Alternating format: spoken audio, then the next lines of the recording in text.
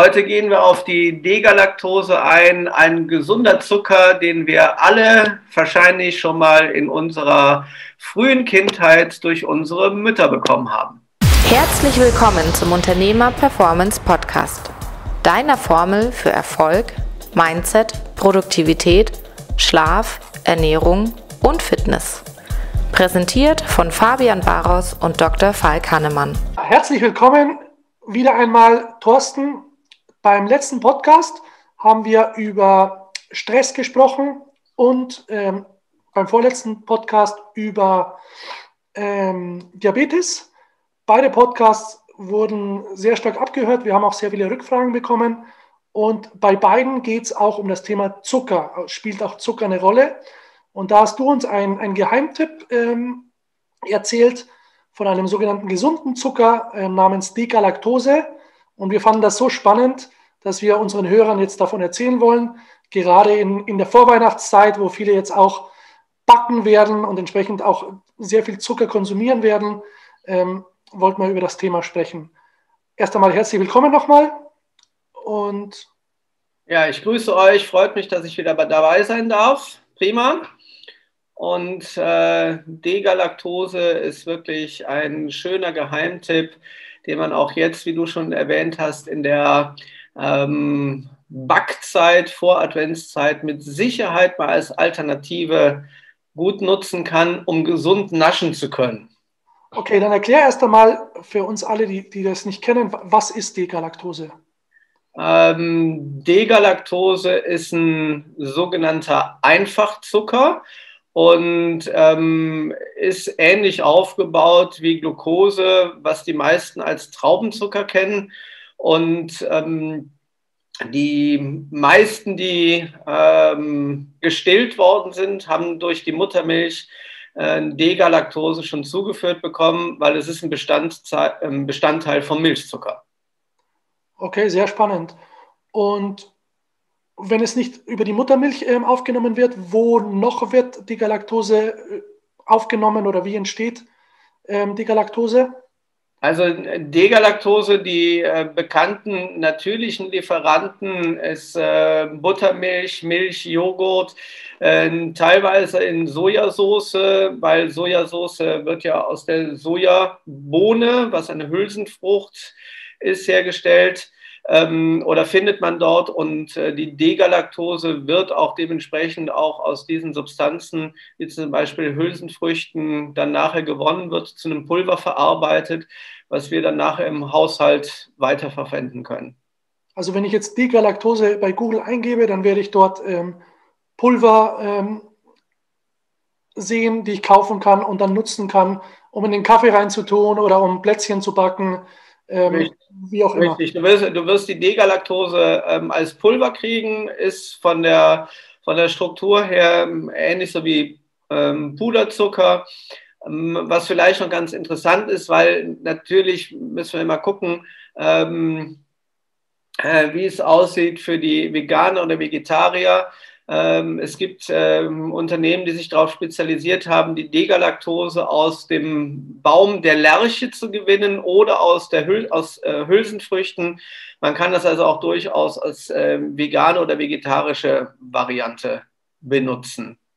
Okay, und warum ist es dann gesund?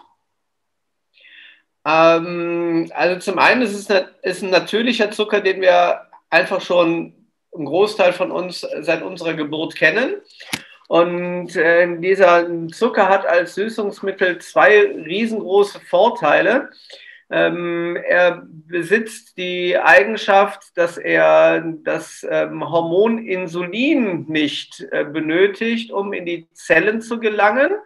Ähm, dafür nutzt sich der Körper ein, eine andere Verbindung, das ist das Glut1. Das würde jetzt aber zu biochemisch werden. Mhm. Und der zweite Riesenvorteil ist, dass wir die Degalaktose auch Diabetikern anbieten können zum äh, Süßen von Backwaren oder ähnliches. Weil durch, den, durch die sehr, sehr geringe glykämische Last hat, der, äh, hat die Degalaktose so gut wie überhaupt keinen Einfluss auf den Blutzuckerspiegel. Was immer noch gefragt wird, das muss ich direkt als ähm, Ergänzung hinterher schießen. Ähm, die meisten stolpern darüber Milchzucker. Braucht ihr euch keine Gedanken zu machen. Äh, auch die Leute, die eine Laktoseunverträglichkeit haben, Intoleranz haben, können diesen Zucker ohne weiteres benutzen, denn äh, wir brauchen für diesen Zucker nicht das Enzym Laktase, um den Zucker zu spalten, äh, weil das ganz anderer biochemischer Vorgang ist, der im Körper stattfindet. Und was prima ist, hat nichts mit Fructose zu tun. Äh, deswegen können auch alle diejenigen, die eine Fructoseintoleranz haben, können diesen Zucker zum Süßen benutzen. Okay, wieso kennt man das nicht? Also wieso liest man es in den Etiketten, ähm, da wo Zucker drin ist, wieso liest man nicht, äh, dass dort Degalaktose drin ist, wenn das äh, so gut ist und sogar für Diabetiker ähm, genutzt werden kann? Ah, da stichst du jetzt direkt das Messer tief in die Wunde rein und streust dabei direkt Salz drüber. äh, und nachdem ihr das wahrscheinlich das erste Mal gehört habt, habt ihr auch angefangen zu googeln und äh, wie ganz, ganz viele dann auch bei mir dann drauf geantwortet haben oder gefragt haben, äh, Degalaktose ist halt eben leider teuer. Ja. So, ähm, das ist, liegt einmal daran an dem wirklich ähm, aufwendigen, ähm, an der aufwendigen Herstellung. Und zum Zweiten liegt es natürlich daran, weil das Problem Angebot und Nachfrage dort nicht gedeckt wird, weil wenn es nicht beworben wird, ist die Nachfrage geringer ähm, und umso teurer wird es dann leider verkauft. Ich kann aber allen nur sagen, äh, es lohnt sich total, mal diesen Zucker auszuprobieren und es gibt ganz, ganz viele tolle Studien, ähm, worauf dieser Zucker positiven Einfluss hat. Jetzt noch meine letzte Frage, bevor ich zum Falk übergebe wir hatten ja auch im letzten Podcast über Stress gesprochen. Jetzt sagst du, es gibt auch eine Verbindung zwischen Dekalaktose und Stress. Ähm, ja, inwiefern ist, es da eine, eine positive Auswirkung? Unser Gehirn verbraucht oder benötigt ungefähr 150 Gramm Glucose ähm, am Tag von dem, was wir ähm, täglich mit der Nahrung zuführen. Und fürs Gehirn ist es ausgesprochen wichtig, den Blutzuckerspiegel immer auf einem vernünftigen Niveau zu halten.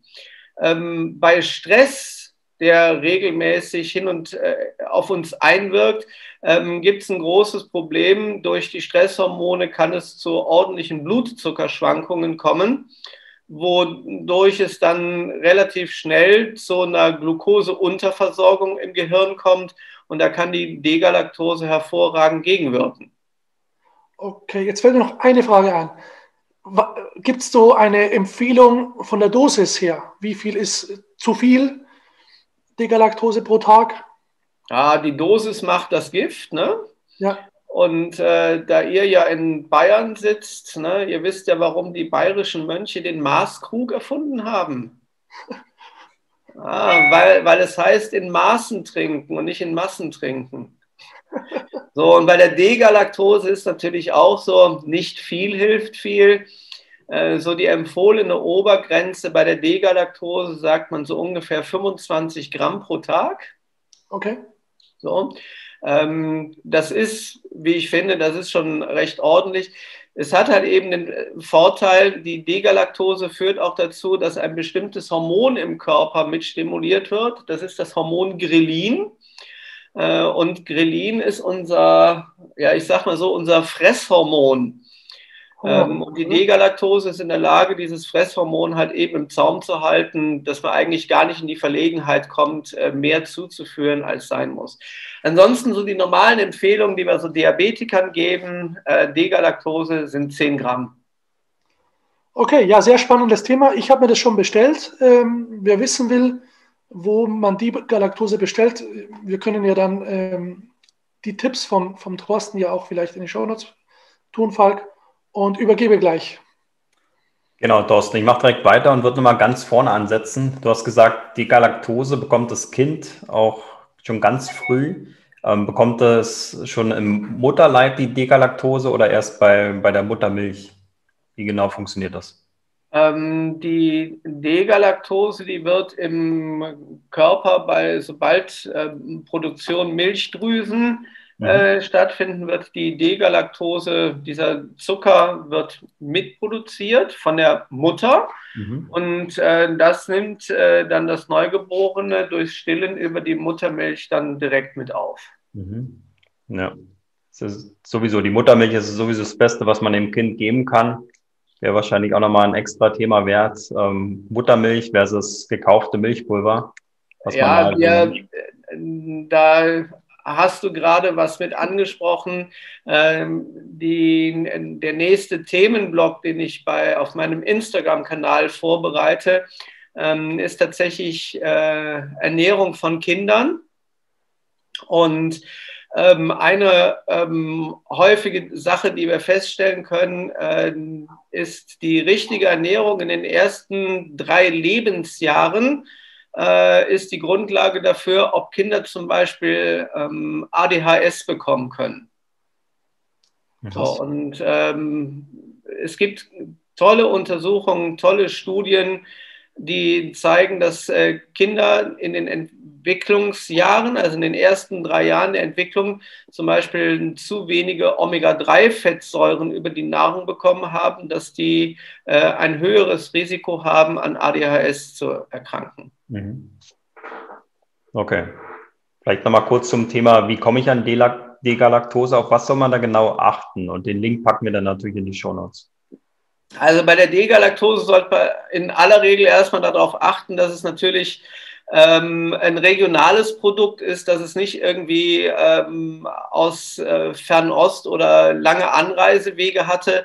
Ähm, Degalaktose wird in aller Regel aus ähm, Milchprodukten gewonnen. Man kann Degalaktose aber auch aus Hülsenfrüchten äh, oder aus, wie eben schon erwähnt, aus dem Baum der Lerche gewinnen.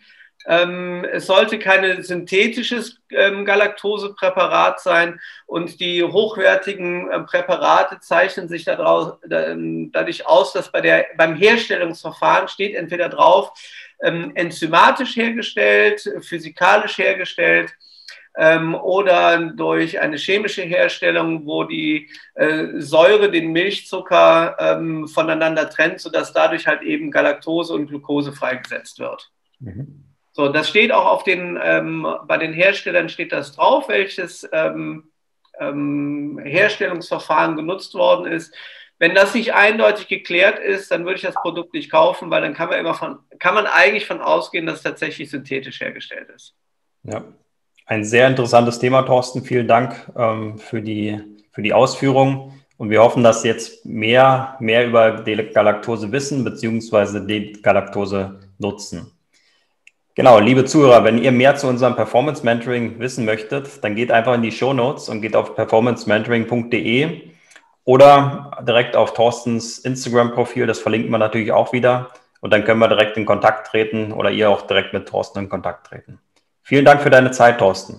Ich danke euch. Ich wünsche euch ein schönes Wochenende. Danke. Ciao, ciao. Das war es leider schon wieder mit dem Unternehmer Performance Podcast. Abonniere uns jetzt, um keine weitere Folge zu verpassen. Vergiss bitte nicht, um dein privates und geschäftliches Leben auf ein neues Level zu heben, benötigst du einen Coach, der dir dabei hilft. Klicke jetzt auf den Link in der Infobox und sichere dir ein Erstgespräch mit uns am Telefon. Wir freuen uns auf dich.